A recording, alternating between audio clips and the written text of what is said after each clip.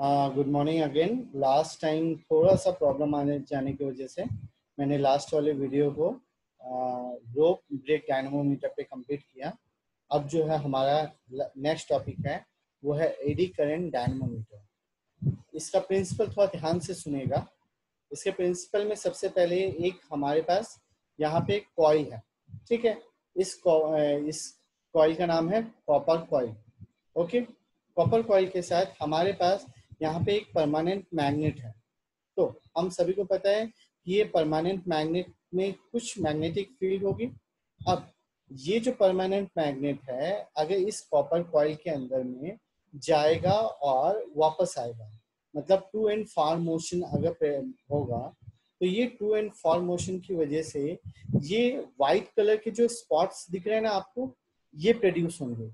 ये this is called eddy current मतलब क्या मैंने बोला कि कॉपर कॉइल के अंदर में जब परमानेंट मैग्नेट अंदर बाहर मूव करेगा तो इसकी वजह से करंट प्रोड्यूस होगा और इस करंट को हम लोग बोलेंगे एडी करंट ठीक है? अब ये एडी करंट खुद की एक मैग्नेटिक फ़ील्ड जनरेट करेगा। इस मैग्नेटिक फ़ील्ड का नाम है मैग्नेटिक फ्लक्स और ये मैग्नेटिक फ्लक्स जो है, ये जो परमानेंट मैग्नेट है इसको अपोज करेगा अंदर बाहर मूवमेंट करने के बात समझ में आई? क्या?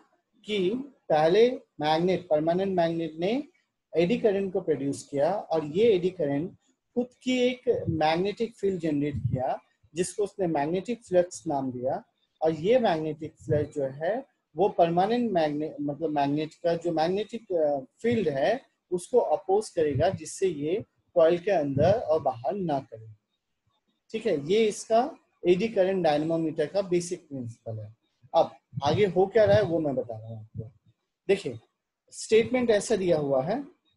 स्टेटमेंट ये दिया है कि ये जो पार्ट है, इसको हम बोलते हैं रोटर ओके रोटर और ये जो पार्ट दिया हुआ है, इसको बोलते हैं स्टेटर तो ये रोटर फिक्स है मतलब ये मूवेबल है इस साफ्ट के अंदर में, और ये साफ्ट के अंदर में रोटेट रोटर फिक्स है सॉरी रोटेटर मूवेबल है और स्टेटर फिक्स है।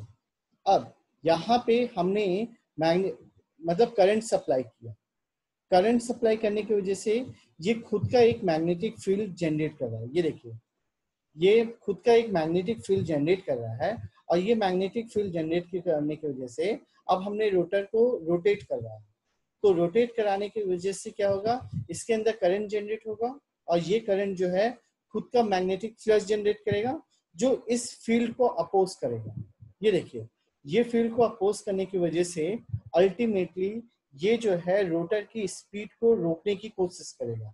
जो एक्चुअल डायग्राम ये देखिए, ये बाहर का जो लगा हुआ है, बाहर बाहर जो है, वो स्टेटर है, अंदर जो है वो रोटर है तो रोटर जो अब रोटेट करके घूमेगा घूमेगा तो वो क्या करेगा?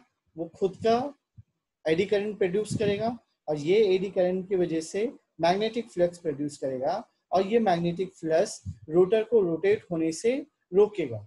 और ये जो जितना भी रोटेट मतलब रोटर को रोटेट होने से रोक रहा है, वो हमें यहाँ पे इंडिकेटर में इंडिकेट करेगा, जो बताएगा कि कितना टॉर्क रिक्वायर्ड हुआ इस रोटेटर को रोटेट होने के लिए। ठीक है? तो वर्किंग प्रिंसिपल क्या स्टेटमेंट दे रहा है वो सुनिए। The working principle of eddy current dynamometer is shown in figure is consist of a stator on which are fitted some electromagnetic and a rotor disc made of copper और steel and couple to the output shaft of the engine अब when the rotor rotate eddy current are produced in the stator due to magnetic flux set up by the passage of field current in the electromagnetic, these AC current are dissipated in producing heat so that this type of dynamometer required some cooling arrangement. Okay? The torque is measured exactly as in other type of absorption dynamometer. For example, with the help of momenta the load in internal combustion engine testing is controlled by regulating the current in the electromagnet. The main features of eddy current dynamometers are first, high brake power per unit weight of dynamometer. ये सबसे बड़ा benefit है. They offer the highest ratio of constant power speed range up to 5 is to 1. Level of field excitation is below 1% of total power being handled by the dynamometer. Thus, they are easy to control and operate. Then development of eddy current is smooth. Hence, the torque is also smooth and continue under all conditions. Relatively high torque under low speed condition. It has no intricating rotating part except shaft bearing and no natural limit of size, either small or large. ठीक है? Basic याद रखिएगा कि current produce हो रहा है with the help of magnetic field और current itself produce their magnetic flux और ये मैग्नेटिक फ्लक्स जो है, वो अपोज करेगा उस मैग्नेटिक फ़ील्ड को। अब अपोज करते वक्त ये पहले रोटेश, रोटेट कर रहे हैं और रोटेट करने की वजह से ये उस टॉर्क को अपोज कर रहा है।